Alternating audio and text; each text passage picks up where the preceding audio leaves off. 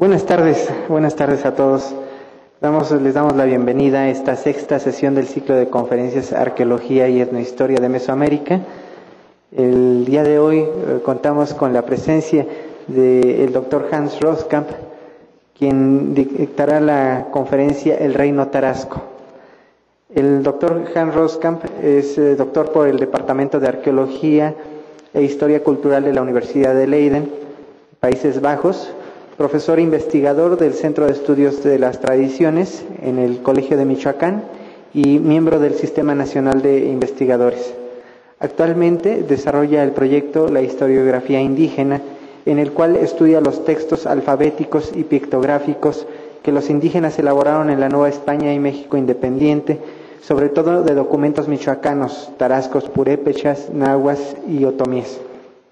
Entre sus publicaciones se encuentran los libros la historiografía indígena de Michoacán, el lienzo de Jucutacato y los títulos de Carapan, publicado por la Universidad de Leiden, los códices de Cutzio y Huetamo, encomienda y tributo en la Tierra Caliente de Michoacán, eh, que es una coedición entre el Colegio de Michoacán y el Colegio Mexiquense, además de artículos como Iconografía de un pleito, el lienzo de Aranza y la conflictividad política en la Sierra Tarasca, siglo XVII, y el lienzo de Nahuatzén, origen y territorio de una comunidad de la Sierra Tarasca, en Michoacán, entre muchos otros. Pues eh, le cedemos la palabra al, doctor Roskamp.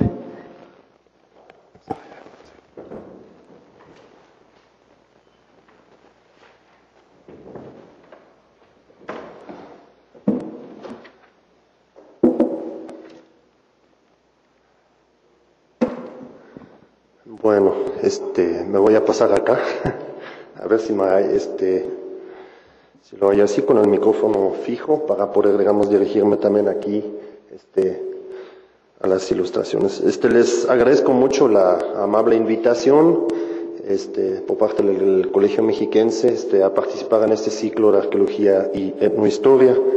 Este, el día de hoy, pues a mí me toca platicarles del este, llamado reino Tarasco, un reino que se desarrolló este, básicamente en el posclásico tardío en este, la región del occidente de México, sobre todo este, abarcando el estado de Michoacán. Y aquí nomás digamos un mapa para recordarnos dónde está ubicado y cuál es obviamente la relación, digamos, geográfica que lleva este, en comparación con los otros este, grupos. ¿no?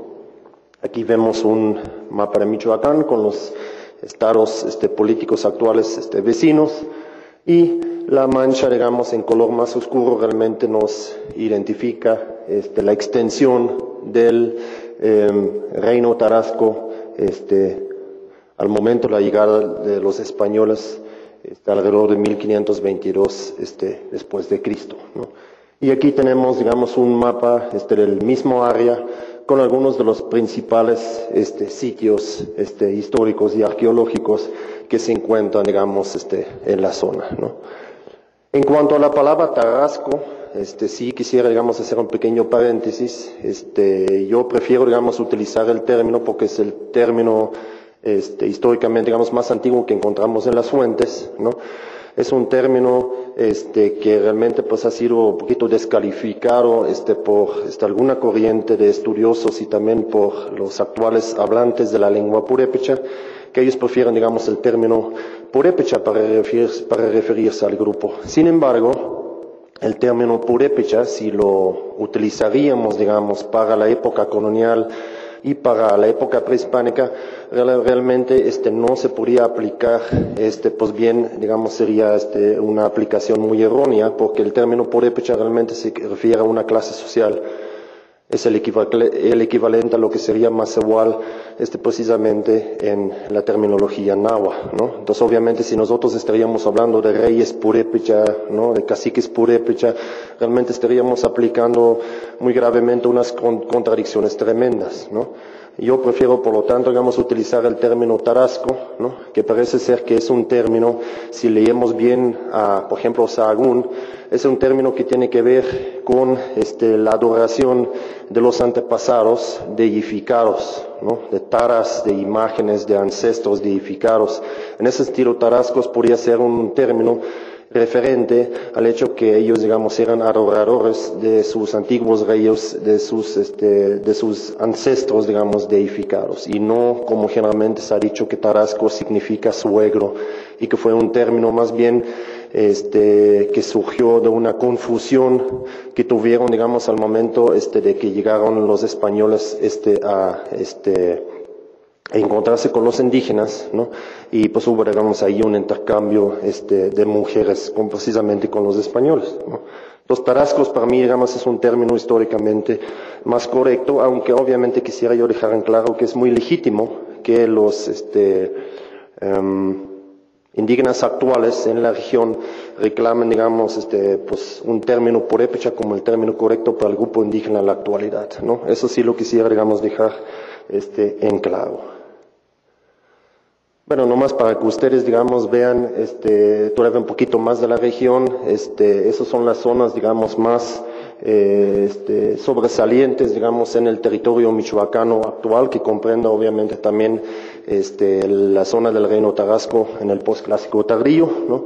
donde ustedes pueden ver, este, obviamente, la región de la Sierra del Centro, donde también se ubica el lago de Pátzcuaro, ¿no? la zona nuclear, del reino tarasco y también la única zona donde en la actualidad todavía sobreviven hablantes de la lengua tarasca, hablantes de la lengua purépecha, ¿no? Luego, obviamente, la región de los valles ciénegas del norte, la importantísima región de la Tierra Caliente, la región de la Sierra Madre del Sur, donde todavía hay algunos hablantes de lengua náhuatl, ¿no? O una variante, ¿no? Y obviamente la región de la costa, donde también todavía sobreviven algunos este, grupos de náhuatl ¿no? pero la lengua purépecha en la actualidad es la, este, la que predomina. Mi plática, aunque la conferencia, el ciclo de conferencias se llama Arqueología no Historia, pues obviamente puedo imaginarme que dependiendo de la formación de cada quien, haya énfasis en materiales arqueológicos o énfasis en materiales de índole, digamos, más histórico. Yo, digamos, como etnohistoriador, me gustaría hablarles sobre el reino tarasco pero basándome este, sobre todo en la propia tradición histórica ¿no? o historiográfica, digamos, del grupo en cuestión. ¿no?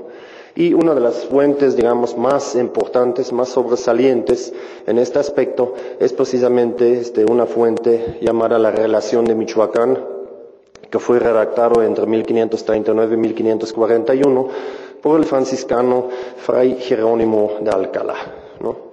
Él más bien, digamos, se consideraba este, un compilador porque para este, llevar a cabo, digamos, su trabajo sobre este, la historia de la región, este, realmente se basaba sobre todo en los testimonios que le fueron rendidos por miembros de la clase, digamos, que estaban en el poder al momento del contacto este, de los españoles, que era, digamos, un grupo determinado que se llamaba los Bakusecha o los Águilas, ¿no?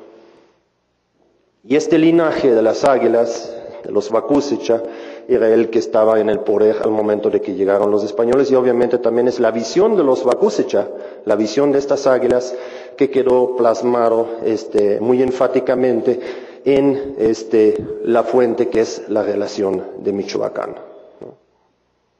Que aquí en este momento, digamos, en esta representación es, es ofrecida este, al virrey Antonio de Mendoza que es una fuente, digamos, no me quiero meter mucho a los esquemas, los, muchos esquemas los tengo meramente, digamos, este, a modo de ilustración. Es una fuente que consistía originalmente de tres partes. Una primera parte sobre el origen, ¿no? el origen de, la gente eh, que poblaba la región y el origen de los dioses y sus principales fiestas. Esta parte lamentablemente se perdió y solamente tenemos algunas este, fojas que remiten, digamos, a este tema. La segunda parte es este, un largo relato histórico sobre el origen este, del linaje de los Bakusecha y este, las últimas fases, este, del poblamiento de la región y la sucesión de sus reyes hasta la llegada de los españoles. que es el famoso relato del Petamoti. Y una tercera parte, este, trata precisamente la estructura del reino tarasco, cómo estaba configurado, este, cuáles eran, digamos, este, las clases sociales, este, cómo se llevaban a cabo, digamos, este, por ciertas actividades económicas, ciertas actividades religiosas, etcétera, etcétera. Obviamente en todo esto, ¿no? detectamos varias voces, ¿no? Obviamente, pues una voz pues muy presente y hasta algún punto es lógico, es obviamente la voz del franciscano mismo, la voz del recopilador. Si bien él se consideraba intérprete, podemos imaginarnos que esta, la información plasmada en la relación de Michoacán no solo tenía que pasar por este, una traducción, ¿no? sino también por todos los filtros culturales que aplicaba el mismo este fraile, este franciscano, ¿no? Entonces, digamos, eso es algo que siempre debemos tener en cuenta cuando estudiamos, digamos, tipo de fuentes. ¿no? Sin embargo, obviamente está claramente presente este, una serie de voces indígenas en esta fuente. Ahí se plasman directamente y claramente los intereses de los indígenas mismos en esta fase, digamos, decisiva, en esta fase, digamos, de una conquista incipiente por este, evangelización incipiente por parte de los españoles. Obviamente ellos también ahí juegan un papel muy activo y dejan obviamente plasmados sus intereses, sus visiones históricas, este, claramente representados en ese tipo de documentos. ¿No? En ese sentido, pues obviamente no se puede decir que es una fuente indígena, una fuente española, ¿no? Pues es una fuente, este, novo hispana en ese sentido, ¿no? Una fuente colonial que combina, digamos, distintas voces, ¿no? Que están entrelazados, que están empalmados, ¿no? Y eso es muy importante tener en cuenta. Me voy a concentrar sobre todo en las, eh, obviamente, en la segunda parte de la relación de Michoacán, que es la primera parte que digamos que sobrevivió, que es el discurso del Petamote, el discurso histórico, que el Petamote, que era el gran sacerdote, ¿no? este, daba a los principales caciques, ¿no? los señores, digamos, de la región, en una fiesta, este, que se celebraba este, en una veintena, una de las este, 18 este, veintenas que existían, digamos, este, en el calendario tarasco, que era, digamos, precisamente este, la veintena dedicada a Ecuatacónscuaro, Ecuatacónscuaro que se ha traducido como fiesta de las flechas, aunque el término no tiene nada que ver este, con las flechas, ¿no? Pero el sacerdote lo tradujo así. Ecuatacónscuaro, que era, digamos, una reunión de los caciques en el patio del palacio del, este, del rey Tarasco, ¿no? La palabra para rey puede ser también irecha o en el náhuatl se ha manejado el término de calzonsin, el que está a la cabeza del, del, cali, el que está a la cabeza de la casa. ¿no? Irecha en purépecha o tarasco y calzonsin serían, digamos, este términos, este, este, mm, pues directa, lo uno sería una traducción directa, digamos, este del otro. ¿no? Ahí se reunían en esta fiesta de Cuataconsco y se aplicaba la justicia general, la justicia de todos los malhechores este, detenidos, digamos, este, en, los límites del reino tarasco. Y también en este evento se platicaba, se difundía la historia, digamos, del reino tal como había sido pasado de generación a generación. Obviamente, pues llegando a legitimar el hecho de que los Bakusecha, ¿no? este linaje de los águilas, estaba en el poder. Y aquí vemos una imagen de la justicia general que no vamos a explicar, digamos, este, en mayor detalle. ¿no?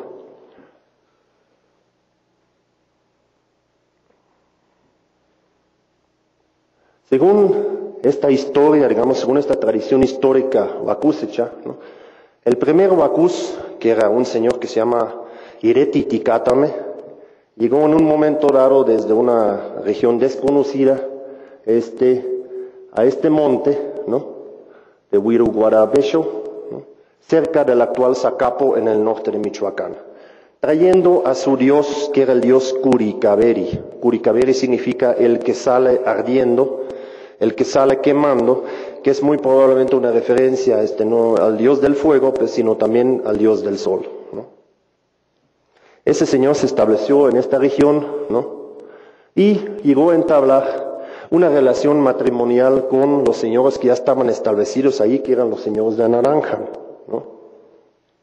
Sin embargo, rápidamente entraron esta, una serie de pleitos con los señores de Naranja, ¿no?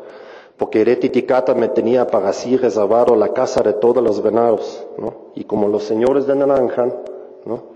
Este, le quitaron algunos venados que él había reservado, él los, mató, ¿no? y luego tuvo que huir a Sichachucuago, ¿no? donde luego Iretiticata me fue alcanzaron este lugar por los señores de Naranjan y los señores de Comachuen y fue asesinado. ¿no? Así empieza, digamos, el relato de la relación de Michoacán, de la tradición histórica de los Wakusecha, ¿no? Y pues, digamos, es el primer indicio que estamos viendo como una este, tradición histórica que realmente resalta los múltiples conflictos que los Wakusicha tuvieron para, digamos, finalmente establecer su reino en el posclásico tardío. Una historia que se caracteriza por este, el servicio a los dioses, este, las alianzas matrimoniales y las guerras. ¿no? Digamos, es un continuo en toda esta tradición histórica, ¿no? que es también muy mesoamericano y también lo encontramos, digamos, en otras partes.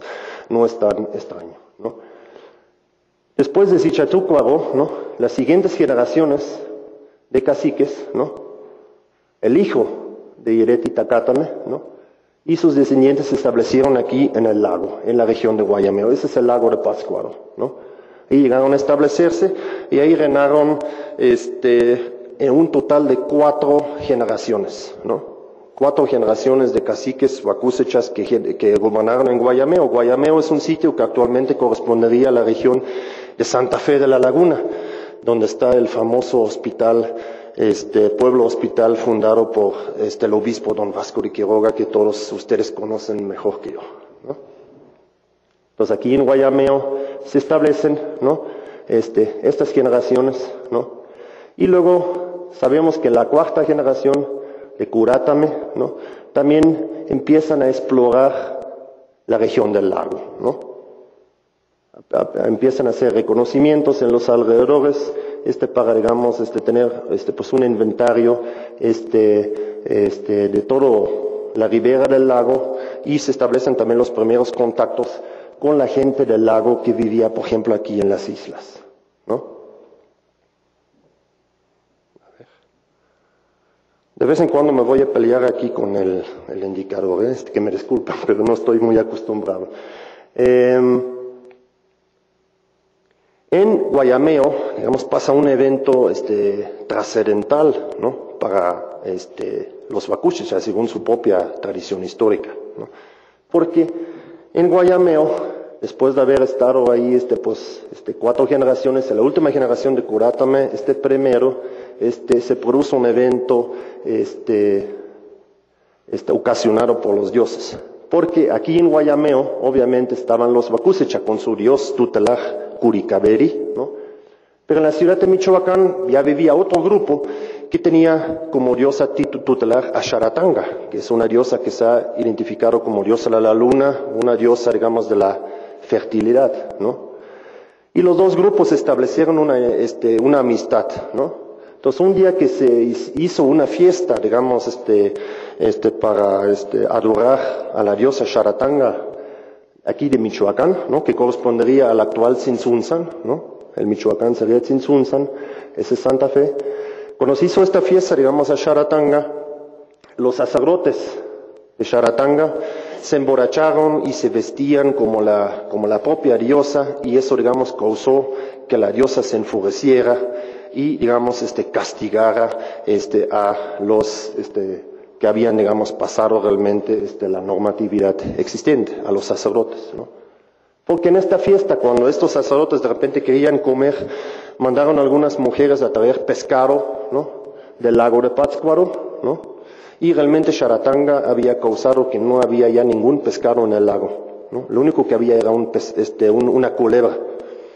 Entonces, pues como no había pescados, trajeron la culebra, se lo comieron, ¿no? Y en la noche los, este, los sacerdotes y sus familiares que se, que se habían burlado de la diosa Sharatanga se convirtieron en culebras y desaparecieron en el lago. Y eso fue una señal muy importante porque eso causó que todos los grupos que estaban en Michoacán y en Guayameo este, se asustaron y decidieron abandonar el lugar este, con sus respectivas este, este, grupos y sus respectivos dioses tutelares. ¿no? Vemos que un grupo se llegó a establecer en Curínguaro, otro grupo en Pareo, al sur del lago de Pátzcuaro, otro grupo en Pichátaro, este, y otro grupo en Iramuco, ¿no? al sur del, del actual lago de Sirahuén. ¿no? Los Bakusecha con su dios Kurikaberi realmente se establecieron este, en un lugar cerca del actual Pátzcuaro, que eso llegó, digamos, a ser su sede principal. Y la gente que tenía la diosa Sharatanga, una diosa muy importante, este, desaparecieron y fundaron un asentamiento que se llama Tariarán, al sur del actual lago de Sirahuén. ¿no? Y este evento, que no está ilustrado en la relación de Michoacán, ¿no? es muy importante porque nos explica, ¿no? Nos explica realmente la relación entre todos estos grupos, que después este, están teniendo muchísimos conflictos en la región, según esta propia tradición este, historiográfica, histórica.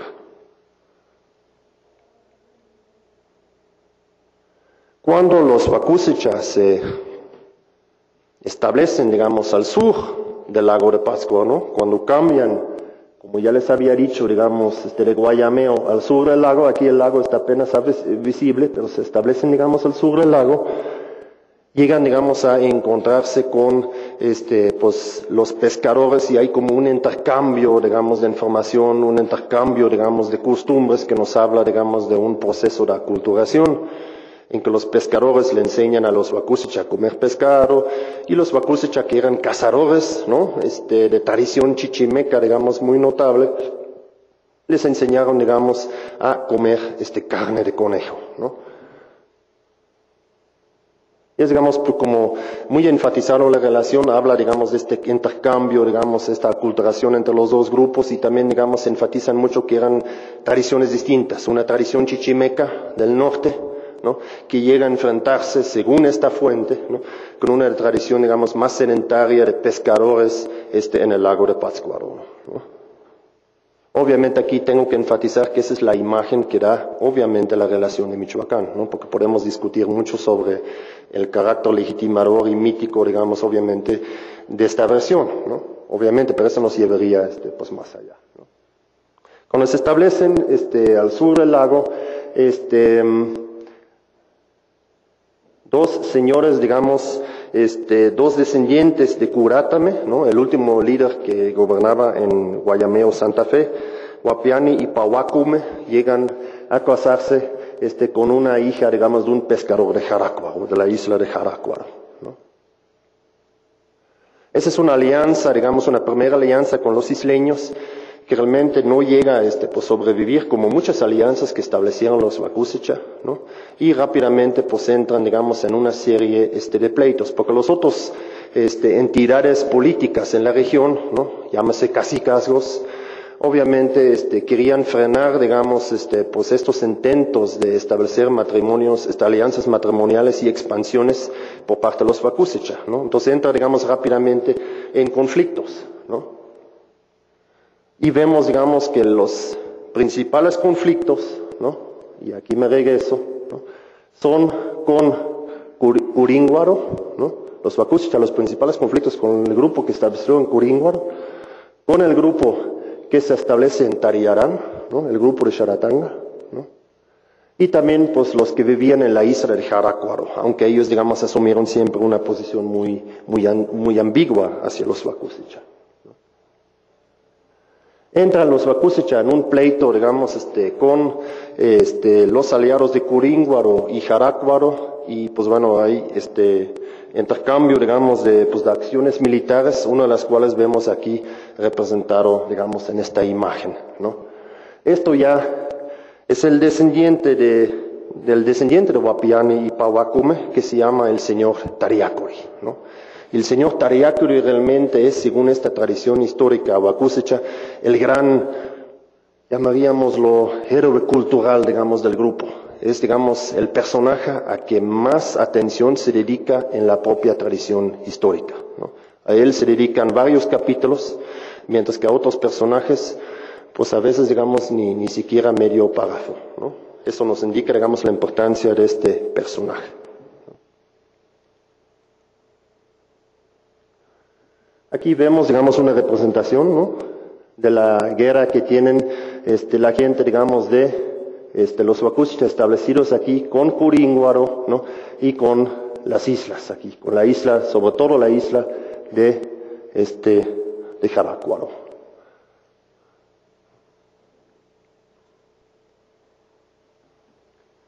Las acciones militares de repente pues llevan también obviamente pues a una feroz defensa por parte de los enemigos de los señores este, Wakusecha, ¿no? Y aquí digamos les voy a mostrar este pues otro mapa, ¿no?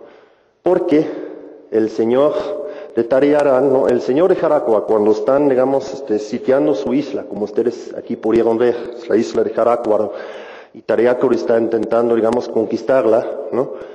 Este, manda a pedir apoyo al señor de Tariarán, otros enemigos de los Wakusecha, ¿no? Y ese señor, pues bueno, accede y manda un sacerdote de él, llamado Naka, a pedir apoyo, ¿no? A juntar guerreros, tanto a la isla como a Curinguaro, ¿no? Pero este plan es detectado por un aliado de los Wakusecha aquí en la isla de Sirawen, este, en, el lago de Sirawen, ¿no? Y realmente, digamos, ironian un plan para, este, capturar a este sacerdote Naka, ¿no? Este, que fue mandado por el señor de Tarián, digamos, a pedir este apoyo, a reunir guerreros para derrotar, digamos, a los Wakusicha, ¿no? Y eso está representado, digamos, en mucho detalle aquí en la relación. En Michoacán aquí vemos el señor Nakar, digamos, que de regreso viene, digamos, este, este, del regreso del lago de Pasco, pues viene a tierra, es aprendido por los Wakusicha, este, y luego es, digamos, este, flechado, ¿no? Y asesinado y este, consecutivamente convertido, como ustedes pueden ver aquí, este, pues en, este, en alimento que es ofrecido a todos los enemigos de los Bakusicha, ¿no? Quienes lo están consumiendo, como ustedes aquí pueden ver, ¿no? Digamos, es una trampa que hicieron los Bakusicha, que les dijeron, pues bueno, es, no, es que esa es carne, digamos, para alimento para los dioses, realmente, digamos, de un esclavo que sacrificamos, este, para hacer rendimiento o no, digamos, a sus dioses. Y luego, le, digamos, ya cuando consumieron la carne, ya les avisaron que, que siempre no, que era el propio sacerdote Naka. Y, y, la relación cuenta cómo, digamos, los señores intentaron este, regresar, digamos, lo consumido, lo cual ya no lograron según la fuente, porque ya, ya se había bajado, digamos, asentado en el estómago, ¿no?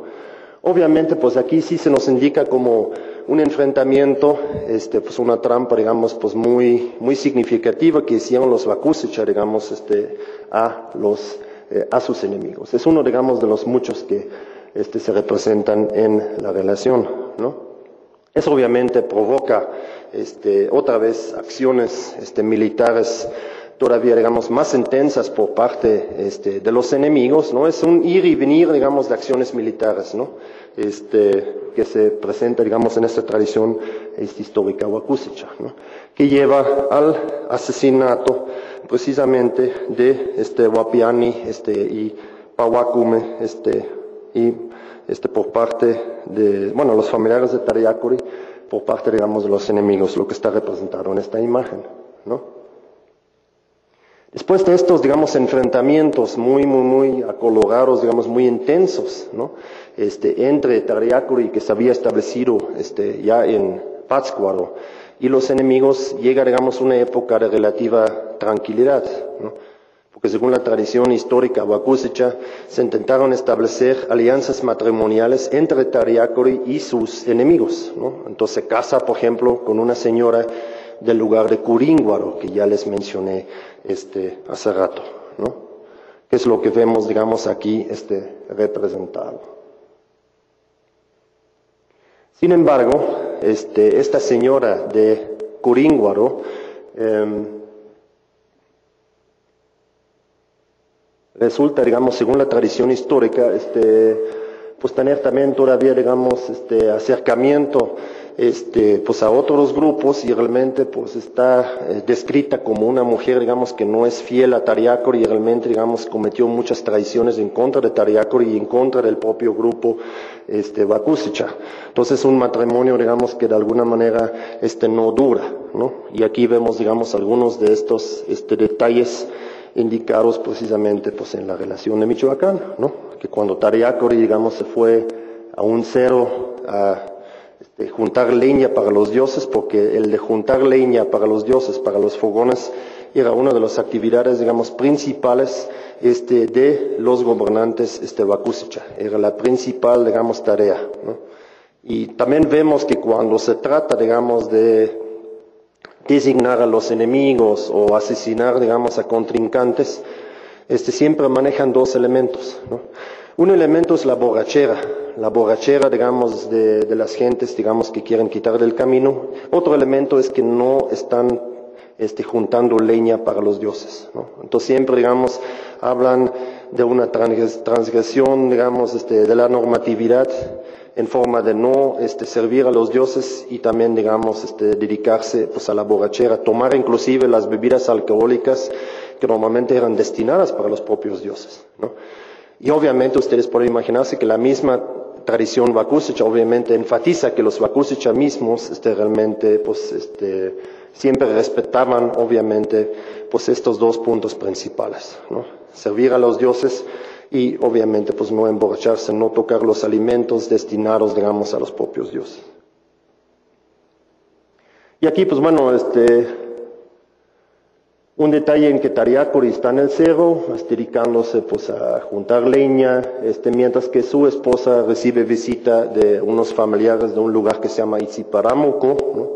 y pues bueno, luego tienen ahí, digamos, este, pues un, un encuentro, este, este, relaciones sexuales, este, que al día siguiente son detectados por Tariacori cuando regresa, digamos, a su casa, ¿no? Y eso, digamos, es una indicación muy clara también del rompimiento entre este, el señor Tareacori de los Bakusecha y este, la señora, digamos, este, que pertenecía este, al linaje de Curíngüaro.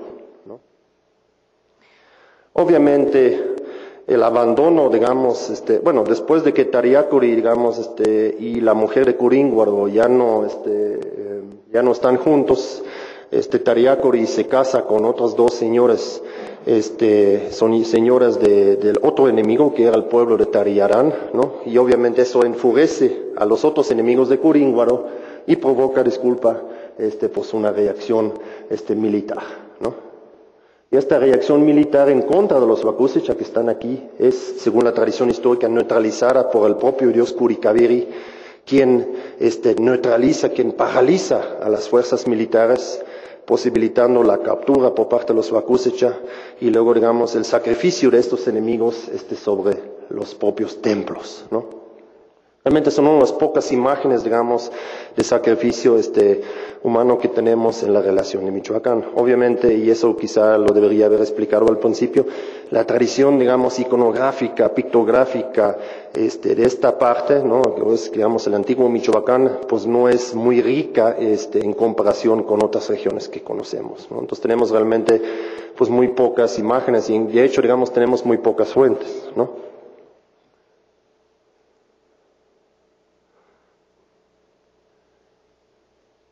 Tariacuri es un señor, digamos, que, este, que según esta tradición histórica, este, realmente tiene una, una visión, digamos, de la expansión del casicasco, ¿no?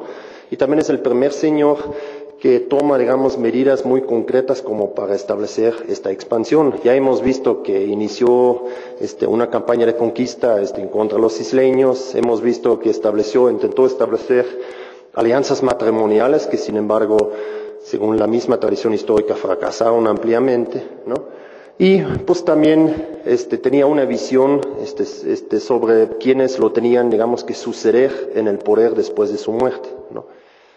Y los señores que le tenían que suceder, y ahí hay un rompimiento muy importante, por eso esta fase de Tariaco es, este, es bastante pues, crucial, este, se rompe la tradición, digamos, de que eran hasta ahorita siempre los hijos, ¿no? Los hijos, este, directos, digamos, de los gobernantes que tenían que suceder en el gobierno, ¿no? Ya visualiza desde el principio, según esta tradición histórica, que tienen que ser dos, este, dos sobrinos ¿no? de él, este, que tienen que suceder en el poder este, combinado solamente con uno de sus hijos. ¿no? Y este hijo de él, digamos, que sí era, digamos, este, este, elegido, era el señor Hikingaje. ¿no? Entonces, digamos, él desde temprano, digamos, según la narración, visualiza una sucesión de tres este, señoras. ¿no? Y también vemos que en el mismo contexto, que los otros hijos de Tariaco, y porque obviamente tenía, digamos, más hijos, son descartados, y ahí se proporcionan los argumentos. ¿no? Por ejemplo, pues un hijo, digamos, se peleó con Tariacori, lo golpeó, lo maltrató, etcétera, etcétera. O vemos, digamos, cómo estos hijos son de alguna manera este, descritos como borrachos, violentos, este, gente floja que no este, cuida los servicios de los dioses, y todos son, digamos, son argumentos cruciales para que después, ¿no? Toriacri obviamente, este, pues, este, alcance, obviamente, subir al trono a sus dos sobrinos y solamente uno de sus hijos, ¿no? Entonces, digamos, se visualiza como una, este, interesante lucha por el poder, ¿no? De donde pues obviamente solamente podemos sospechar la complejidad, porque pues la relación obviamente nos da este pues una narración, una visión muy resumida y probablemente pues muy parcial, ¿no? Podemos solamente imaginarnos que en la realidad obviamente la situación ha sido mucho más complicada. Aquí vemos Tariacori ya este pues anciano sentado y aquí con sus dos este sobrinos y su hijo sentados escuchando el discurso de Tariacori, quien les está diciendo que él quiere que ellos sean, digamos, los sucesores, ¿no? que van a gobernar precisamente en el formato de una triple alianza. ¿no? La triple que se va a establecer ¿no? este, en el postclásico tardío, este, pues es una idea, según la tradición macusecha, del mismo Tariacori, ¿no? porque él tenía previsto que eh, el señor Tangashuan, su sobrino Tangashuan, iba a gobernar en la ciudad de Michoacán, que es Tinsunzan. Su otro sobrino Hiripan en Coyoacán y, o Iwatzio, ¿no? Y su único hijo, pues el Hikingaje, el único hijo, digamos, elegido, iba a gobernar en Pátzcuaro. Entonces él, digamos, ironeó una triple alianza entre Tzintzunzan, Iwatzio y Pátzcuaro. Vamos a llamarla la triple alianza michoacana o algo así. Obviamente la relación, este, pues no me puedo meter, digamos, pues a todos los detalles, pero la relación obviamente nos, este, nos cuenta cómo son los preparativos, los rituales que obviamente tienen que pasar los dos sobrinos y el hijo para llegar, digamos, a ser elegidos, ¿no? Hacen rituales, este, penitencias, digamos, en las cuevas, este, los dos sobrinos y el hijo, digamos, todos rituales relacionados con el ascenso, digamos, al trono, ¿no? Lamentablemente, digamos, pues todos esos rituales no son descritas tan ampliamente como, por ejemplo, en el caso de este, las fuentes del centro de México, pero sí nos dan una idea, digamos, de elementos parecidos, estructuras parecidas, ¿no? Entre lo que vemos en el caso michoacano y en lo que vemos, digamos, en el caso del centro de, México. Solamente, pues obviamente nos faltan los detalles y obviamente hay que tener sumo cuidado, sumamente cuidado con llenar los huecos en el caso de los tarascos con la información del centro de México. ¿no? Porque si bien, este, hablando en términos de, López Austin, este, existía obviamente un sustrato mesoamericano muy marcado, ¿no? Obviamente tenemos que tener, debemos tener mucha cautela con las variaciones, con los variantes, las diferencias que muchas veces vemos, digamos, en esta estructura general mesoamericana en cada subregión, ¿no?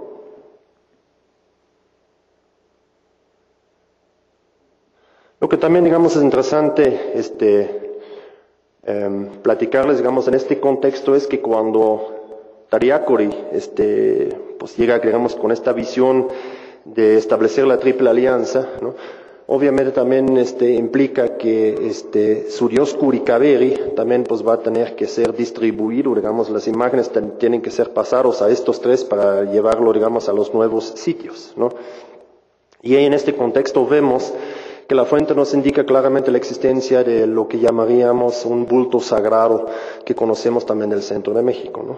Digamos que era una tela ricamente adornada con un gran pedernal de obsidiana negra que representaba al dios Kurikaveri. Y cada vez que se establecía un nuevo asentamiento, le daban al nuevo señor, digamos, un pedazo de este gran pedernal para que lo llevara como, digamos, este, a, los nuevos templos dedicados a Curicaveri. Entonces aquí también vemos como un funcionamiento muy parecido a lo que conocemos en el centro de México como estos este, famosos y interesantísimos bultos sagrados, donde en Michoacán solamente conocemos este de Curicaveri y otro dedicado a Tlatlauqui Tezcalipoca. Pero a eso, digamos, este, volvemos, ojalá, este, pues, este, al ratito, ¿no? Entonces aquí ustedes ven, digamos, que reparte el dios Curicaveri entre los dos sobrinos y el hijo para que establezcan, digamos, este, pues, templos.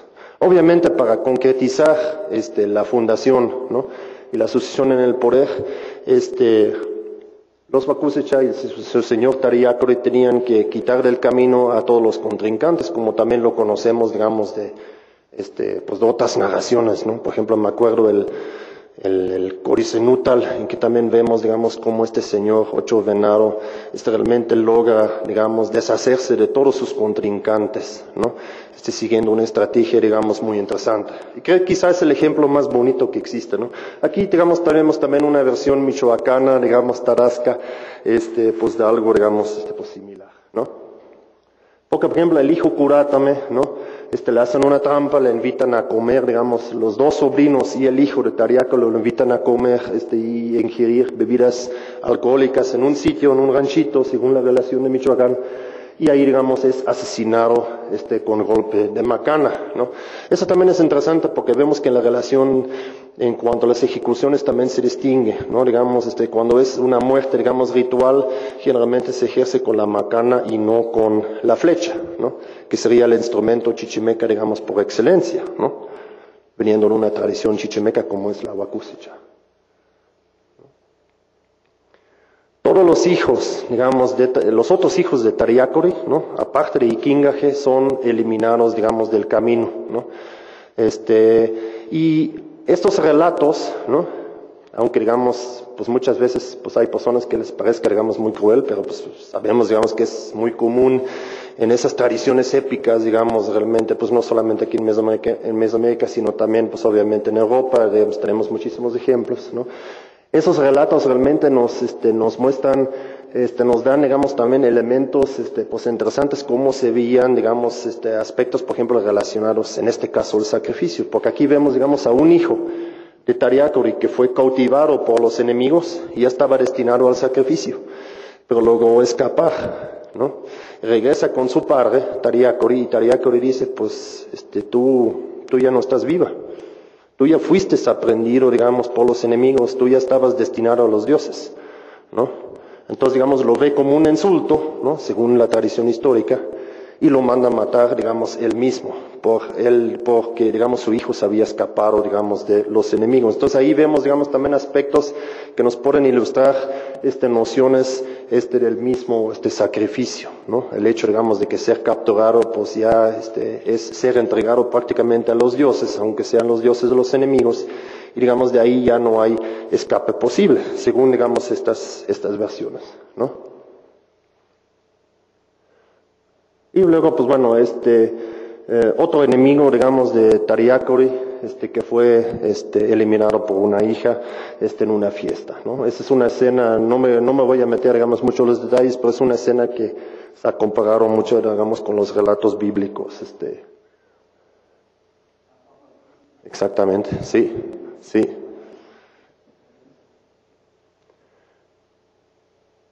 Si bien Tariakuri, digamos, según esta tradición este, histórica, fue pues, el que planeó, digamos, este, el establecimiento de la Triple Alianza, es interesante que la relación, en una parte posterior, este, también este, resalta este, la decisión de los propios dioses. Los propios dioses este, en la designación, digamos, de los gobernantes de esta Triple Alianza. Y es interesante que ahí el hijo Ikingaje no aparece. Solamente son los dos sobrinos que reciben una designación directa de los dioses para ser gobernantes. En este caso, este Tangashuan, ¿no? que recibe aquí, está, digamos, soñando en un cerro, ¿no? Está durmiendo, recibe en su sueño, digamos, una visita la diosa Sharatanga, es una de las pocas representaciones de las diosas que tenemos, digamos, en este tipo de documentos, ¿no? Quien le dice, mira, yo estuve en Michoacán, ¿no? Este, pues hace mucho tiempo, ahí tengo mis templos, este, tengo mi temazcal y tengo mi juego de pelota, y un juego de pelota claramente relacionado con la diosa Sharatanga, ¿no? Pero como ustedes se acordarán, después del agüero de la culebra, ¿no? la gente de Michoacán se fue a un sitio al sur del lago de Sierrahuén, ¿no? Pues digamos, escaparon del sitio y ahí estuvieron en Tariarán, en lugar de Tariarán. Entonces ella dice, estoy en Tariarán, este, pero no me están atendiendo bien, la gente, digamos, no me cuida, los sacerdotes no me rinden, digamos, este, el tributo, no me, no me atienden bien. Yo quiero que tú me recoges, digamos, de Tarayarán y me llevas de regreso a Tzintzunzan, a la ciudad de Michoacán, para que tú llegues a ser, digamos, el nuevo Señor en, esta, este, en este asentamiento. ¿no? Lo mismo pasa con este, el otro Señor, ¿no? este, el Señor Iripan, ¿no? que es visitado por el dios Kurikaberi, ese representa el dios Kurikaberi. ¿no? Este, también en su sueño, quien le dice lo mismo, ¿no? digamos que quiere que Iripan le dedique, digamos, este, pues, este, toda la atención, que él, digamos, llegue a ser su principal representante sobre la tierra, que procure, digamos, este, expandir su culto, este, traerle leña, atenderle bien, este, obedecer, digamos, todos los mandamientos de Dios, este, y en retorno también, pues, llegará a ser, digamos, él, este, un señor elegido, ¿no? Este, para gobernar en el marco, digamos, de esta triple alianza, ¿no? Entonces aquí solamente, digamos, en la presión de los dioses, la designación de los dioses solamente está representado Tangashuan de Tzintzunzan y Ripan de Coyoacán. El otro señor, ¿no? el hijo de Tariakori, el Ikingaje, que iba a gobernar en Pátzcuaro, no es mencionado. Y eso sí es interesante. ¿no? Algunos investigadores dicen, pues no es mencionado porque él ya era sacrificador. En una parte oscura de la relación dice, él ya era sacrificador. Pero luego vamos a ver que este señor Ikingaje no dura en Pátzcuaro. ¿No? Esta, esta linaje de es luego eliminado. Entonces, quizá lo que estamos viendo aquí es realmente un énfasis en la legitimidad solo de los gobernantes de Tzintzunzan y de Coyoacán y ya no, digamos, en los señores este, de Pátzcuaro. Y eso tiene que ver con el contexto, digamos, de elaboración. Pero sobre esto, digamos, todavía regresamos, ¿no? A ver, mira. Es lo que les platiqué, ¿verdad? De, Guayam, de, de Michoacán, la diosa Sharatanga había ido aquí, ¿no? Entonces ahorita pide que la regresen, ¿no? Pide que la regresen porque este, queda muy claro, según esta tradición histórica vacusecha, que solamente los vacusechas son, digamos, adoradores dignos de los dioses. Los demás no atienden bien a los dioses y por lo tanto son dignos de ser conquistados, dignos de ser destruidos, ¿no? Y eso, digamos, en toda la relación se dibuja como una designación, un deseo de los propios dioses. Todas las acciones de los Vakusicha ¿no? son representadas como acciones de los dioses. ¿no? Entonces, si hablan de las conquistas, realmente se pinta como una conquista más implementada por los dioses y dirigida por los dioses que por los Vakusicha mismos. Obviamente los Vakusicha son los representantes pues, sobre la tierra, podríamos decir, de los dioses, ¿no? pero se hace mucho énfasis en el deseo, digamos, de los dioses a través de toda la tradición este, histórica, este, este disculpa, ¿no?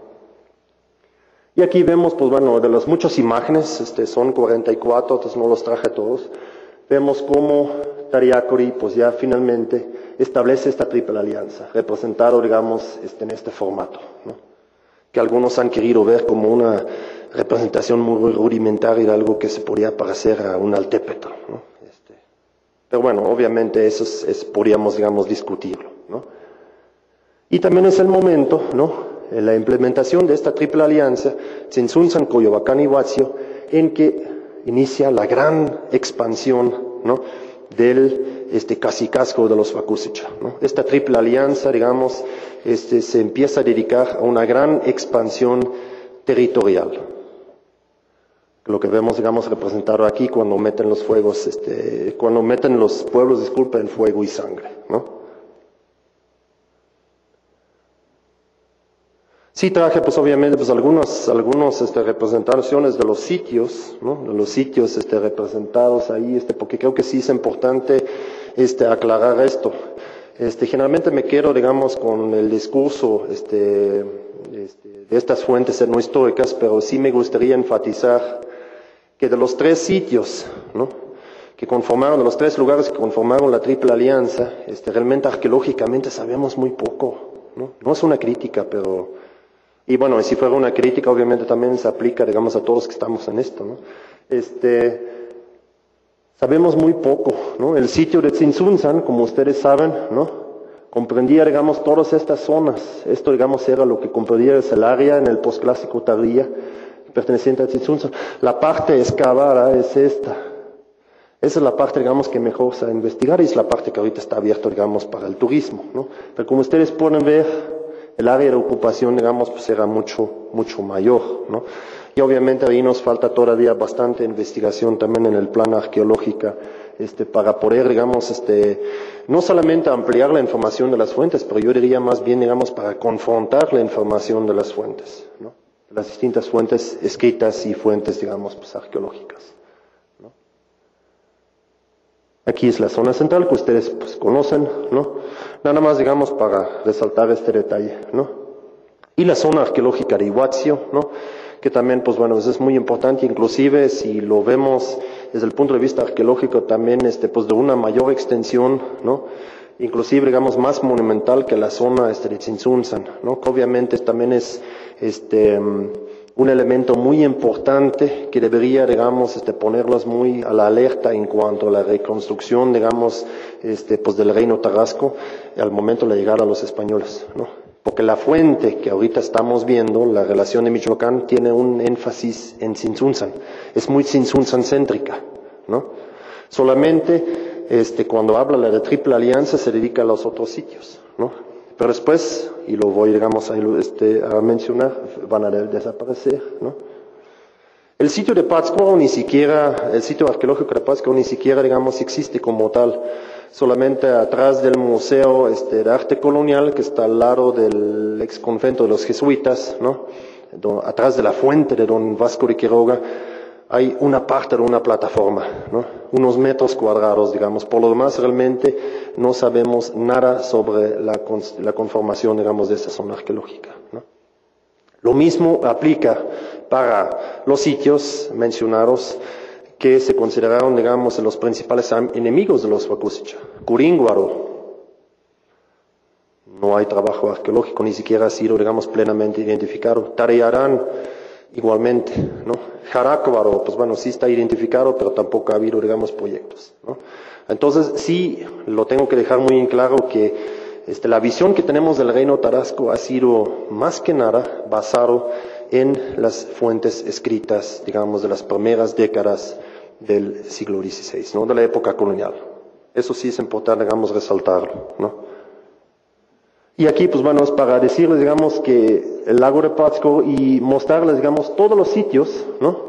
Indicados, y ustedes pueden ver en este mapita, este, bueno, que me prestó un colega arqueólogo, Efraín Carnas del Colegio de Michoacán, ustedes pueden ver cuáles son los sitios excavados, ¿no? De todo este conjunto, aquí se, habla, se nos habla, digamos, de tres sitios. Este mapa tiene apenas unos pocos años, la situación realmente no ha cambiado, ¿no? Entonces ahí, digamos, en ese sentido todavía nos falta mucho camino por delante. Bueno, las conquistas este, por parte de los señores Wakusicha, digamos, siguen después del establecimiento de la Triple Alianza y este, vemos que las, en las últimas páginas, digamos, de esta narración que se dedica, digamos, a lo que queda de la expansión, pues realmente la información es muy, muy, muy breve, ¿no? Solamente se nos indica que la Triple Alianza no duró, que la diosa, este, que la diosa Sharatanga, que reinó, digamos, en Sinsunzan, fue posteriormente acompañado por este, una imagen, digamos, principal de Kurikaberi, y que Sinsunzan llegó a ser entonces el asentamiento principal en la zona, ¿no? Y por lo tanto también el linaje, ¿no? del señor Tangashuan, el sobrino de Tariacori, llegó a ser, digamos, el linaje principal que estaba en el gobierno al momento, digamos, de la llegada de los españoles, ¿no? Dice que Coyoacán, digamos, este, pues fue este, pasó, digamos, a un segundo nivel y inclusive Pátzcuaro fue, digamos, el, los familiares en Pátzcuaro, que era el hijo de Tariacori, fue, digamos, este, junto con toda su familia, fue, digamos, exterminado por los demás, ¿no? Entonces vemos, digamos, una lucha, indicios, digamos, en, en pocas frases, ¿no? Este, indicadas en la narración, este, vemos, digamos, una lucha muy compleja, digamos, este, en esta triple alianza que lleva, digamos, a la preeminencia de Tzintzunzan, ¿no? Obviamente uno podría decir, oye, pero ¿por qué solamente unas pocas líneas dedicadas a esto? Si es trascendental, ¿no? Bueno, obviamente tenemos que imaginarnos que la gente, digamos, los principales informantes, al momento de la llegada a los españoles, este, cuando se redactó la relación de Michoacán, este, unos años después, este, fueron obviamente este, este, miembros del linaje Huacusicha perteneciente este, al, al, al, linaje, digamos, la parte del linaje de Tzintzunzan. Entonces no había probablemente ningún interés, digamos, de meterse detalladamente a lo que pasaba en Coyoacán y lo que pasaba en Pátzcuaro, ¿no? La idea era indicar la preeminencia de Tzintzunzan y eso podría explicarnos que por qué de los, estos últimos años, digamos, que nos parecen trascendentales, solamente hay como dos o tres, digamos, fojitas este, dedicadas este, al tema, ¿no? Pero tiene su, tiene su razón de ser. Y aquí vemos, pues bueno, toda la genealogía de los Bakusicha, ¿no? El formato de un árbol genealógico que obviamente pues es este, esta representación retomara de una tradición occidental, aunque obviamente no podemos nosotros desconocer la importancia, este, las referencias, digamos, árboles y plantas, este, raíces, obviamente también en la tradición mesoamericana, ¿no? Pero el modelo, obviamente sí sigue como el modelo del árbol, del de Jesse, este, que es pues muy conocida la iconografía, este, pues, este, este colonial, ¿no? Aquí vemos a Iretiticátame, el fundador del, linaje, y luego todos los demás gobernantes hasta el último. El último señor que gobernó en Tzintzunzan, que es el señor Tzinchicha Tangashwan, ¿no? Y pues este señor fue este, ejecutado por este Nuño de Guzmán, si no me equivoco, en alrededor de 1531, porque estaba interfiriendo, digamos, con los encomenderos en cuanto a la administración, digamos, de los pueblos este, indígenas. No quería mantener su, su poder y ahí, digamos, llegó a tener muchos roces con los encomenderos y fue finalmente, pues, este, ejecutado, ¿no? Una de las cosas que contribuyó a que obviamente Núñez Guzmán, digamos, como que parece haber, y todavía sigue siendo, digamos, como el más bruto, digamos, de, de la historia en ese sentido, ¿no? Pero realmente, pues muchas veces ha enfatizado que fue asesinado porque ya no le podía dar más oro a Núñez de Guzmán. Realmente otras fuentes nos indican que la situación era mucho más compleja. Que Tzinchicha Tangashuan estaba en una competencia directa con Nuño de Guzmán, con los encomenderos, entonces digamos que había otros elementos que llevaron este, a este, su ejecución. Obviamente eso no legitima de ninguna manera, ¿no? Pero quisiera agregar también este detallito. Aquí vemos la genealogía, desde Ereteticátame, ¿no? Aquí vemos Tariacori, ¿no? Y vemos como en este momento esta bifurcación, ¿no? El papá de Tariacori era Pahuacume, pero lo que vemos es que más bien continúa, digamos, este, en, el, la línea, digamos, de los descendientes de un tío de Tariacuri, que era Guapiana, ¿no? Para terminar, este, al momento de la llegada de los españoles, pues, en este ramo nada más que eran los que gobernaron, digamos, en Tzintzunzan, ¿no? Eso es todo lo que tenemos, digamos, de gobernantes, este, este, históricos, digamos, este, mencionados en la tradición histórica, este Bakusicha. Como ustedes pueden ver, pues solamente pues atención para los miembros masculinos, realmente pues hay muy poca eh, atención este, por el papel, digamos, de los miembros este, este, femeninas, digamos, de, de este linaje. También es interesante si lo comparamos, digamos, con, con otras tradiciones, ¿no? donde realmente sí vemos genealogías mucho más completas, ¿no? Que nos dan, digamos, muchos matices. Aquí realmente los matices sí están implícitos y a veces, digamos, lo deja entrever la fuente, pero no hay información para ir más allá, ¿no? La cronología, este, obviamente, este, pues hay que resaltar que en la tradición histórica vacusecha, este, pues no hay ningún ninguna fecha, digamos, este, ningún fechamiento, digamos, prehispánico, realmente, digamos, este, están completamente ausentes, entonces, digamos, han hecho reconstrucciones hipotéticas, ¿no? Las únicas fechas, digamos, muy concretas tenemos que este gobernante, Tzitzispandacuare, ¿no? en los últimos años de su vida entró en una competencia directamente con Ashayacatl, ¿no? En cuanto a la expansión, digamos, de Ashayacatl hacia Michoacán, digamos, obviamente ahí sí nos permite una conexión con las fuentes del centro y cronológicamente estamos, digamos, mejor ubicados. Todo lo demás es una cronología relativa, ¿no? Que nos remite, como ustedes pueden ver, ¿no? Muy tentativamente, ¿no? A un origen, ¿no? De la un origen, digamos, de los Bakusecha, o por lo menos la, llegada de la primera Bakusecha, del primer Bakusecha, a la región con su dios Kurikaberi, alrededor del año 1200, ¿no? Obviamente si para cada gobierno ajusto, por ejemplo, mi, cronología tentativa con cinco o diez años, obviamente pues cambia mucho el panorama y ya estamos hablando de fácilmente un siglo, un siglo y medio de diferencia, ¿no? Donde está mejor fijado, obviamente, es la etapa, la última etapa, que es la segunda mitad del siglo XV, en que parece que, según, digamos, esta tradición histórica, será la gran expansión, digamos, este, del casicasco este, que lleva a lo que se ha venido a llamar el reino tarasco, ¿no? A partir, digamos, del establecimiento de la Triple Alianza y la preeminencia posterior de Tzintzunza, ¿no? Todo en un lapso de, pocas décadas, ¿no? Entonces, lo que realmente, digamos, lo que estamos viendo, obviamente, pues en estas fuentes, pues es, es muy reciente, ¿no? Digamos, o sea, cubre, digamos, un lapso, pues muy, muy breve, ¿no?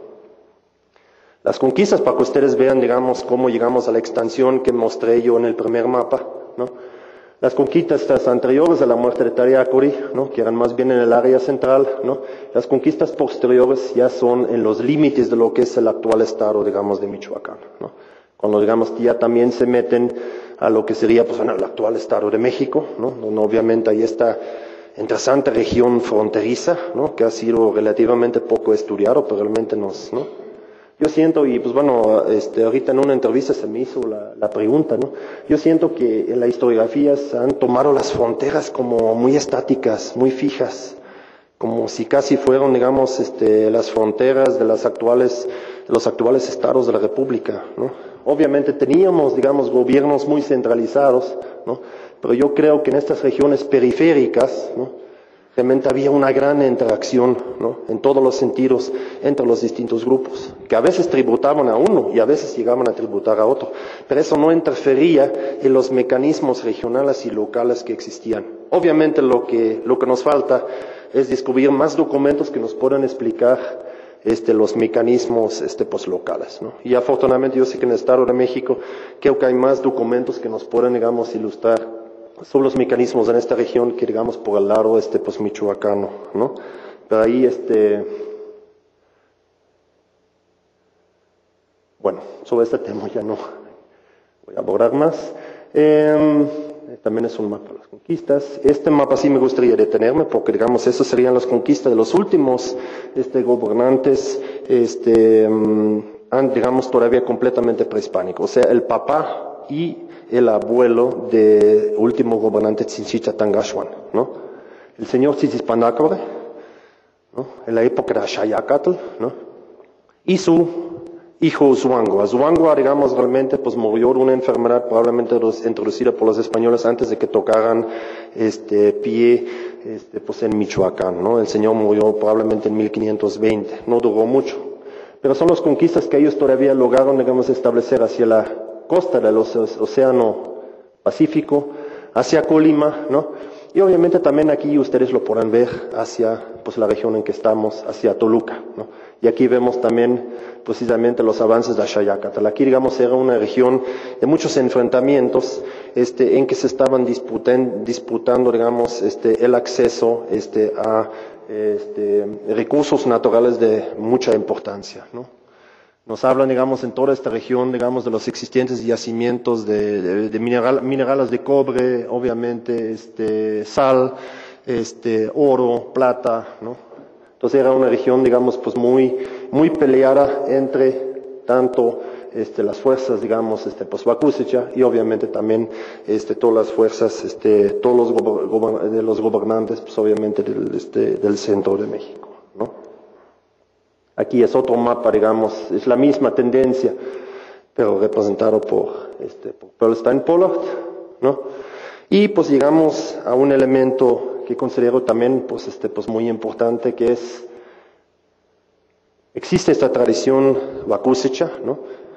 Y los vacusecha, digamos, pues bueno, pues ahí se han tomado como este, el equivalente a los tarascos. Realmente deberíamos decir que los Vakusicha, digamos, es solamente un linaje dentro de los tarascos, ¿no? Había más linajes, pero realmente esos otros linajes no están documentados en las fuentes, ¿no? No sabemos, no sabemos, digamos, qué pasó ahí, ¿no? Pero dentro del grupo más amplio de los tarascos, ¿no?